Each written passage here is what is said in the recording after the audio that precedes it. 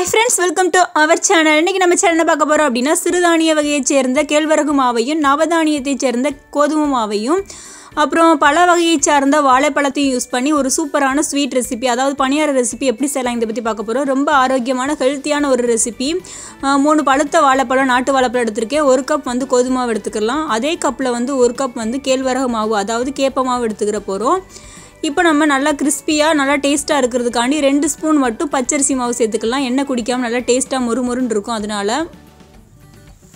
சமையலில் யூஸ் பண்ணுற உப்பு கொஞ்சமாக சேர்த்துக்கலாம். அப்போ தான் வந்து நம்மளுக்கு ஸ்வீட் செய்யும் போது நம்ம நல்லா டேஸ்ட்டாக தூக்கி கொடுக்கும் அதனால்.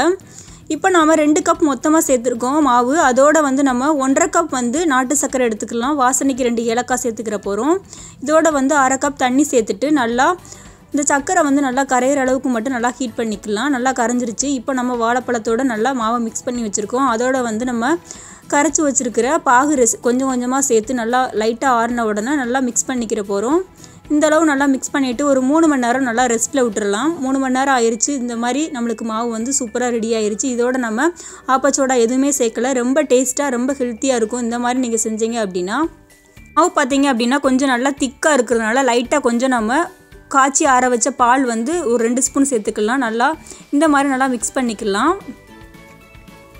நம்மளுக்கு வந்து நம்ம பணியாரம் ஊற்றுறதுக்கு நல்லா கரெக்டான பதம் இருந்தால் தான் நல்லா டேஸ்ட்டாக இருக்கும். அதனால் வந்து நம்ம லைட்டாக நம்ம பால் சேர்த்துட்டு இந்த மாதிரி மிக்ஸ் பண்ணியாச்சு. பணியாரம் ஊற்றுறதுக்கு கரெக்டான பக்குவம் நம்மளுக்கு வந்துருச்சு. இப்போ நாம் ஒரு பணியார பா சட்டியை வந்து நான் அடுப்பில் காய வச்சுருக்கேன். நல்லா ஹீட் ஆகணும்.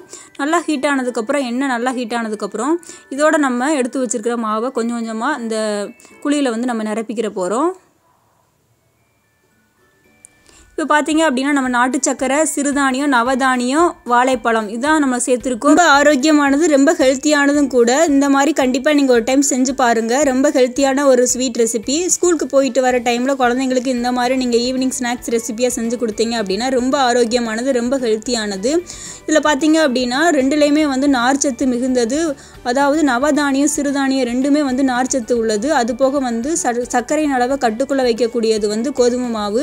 இது நம்ம வந்து நம்ம நாட்டு சர்க்கரை யூஸ் பண்ணுறதுனால எல்லாருமே விரும்பி சாப்பிட்லாம். ரொம்ப ஹெல்த்தியானதும் கூட. சிறுதானியம் வந்து கேப்ப மாவாக இருக்கிறதுனால குழந்தைங்களுக்கு தாய்ப்பாலுக்கு நிகரான சத்துக்கள் வந்து அதிகமாக காணப்படுது.